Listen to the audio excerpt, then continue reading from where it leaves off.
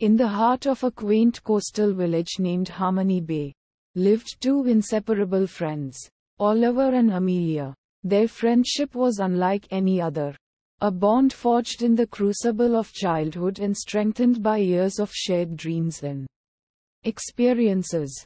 Oliver was an adventurous and curious soul, always seeking new horizons, while Amelia was the epitome of steadfastness and empathy. As the years rolled on, the village faced its share of challenges. The most daunting was the perilous reefs that lurked just off the shore, posing a constant threat to ships navigating the waters. The village folk had always relied on the village's lighthouse to guide them safely home. But time had not been kind to the old structure. Its light had grown feeble, casting a dim glow that was barely visible through the dense fog that often enveloped the bay. One stormy evening, as waves crashed violently against the rocky coastline, a ship found itself ensnared by the treacherous reefs. Desperate cries for help carried through the tempestuous winds, reaching the ears of the villagers.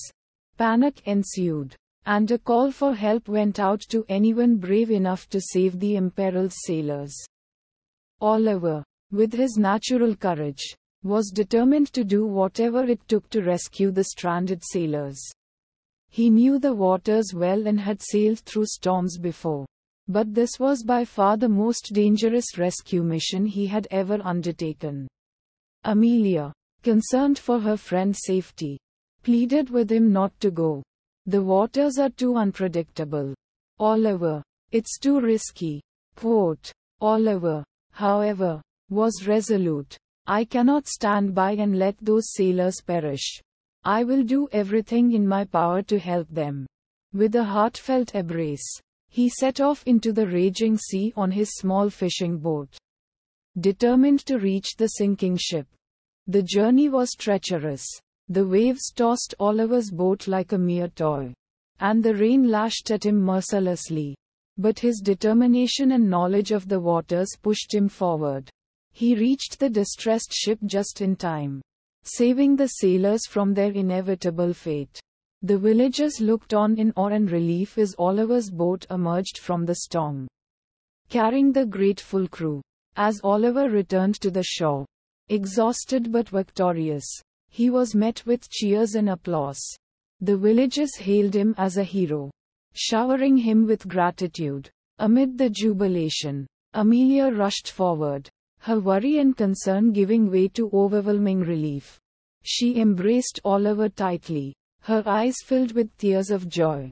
You've done something truly remarkable. My dear friend, Amelia whispered, her voice choked with emotion. Your courage and selflessness have shown me the true meaning of friendship.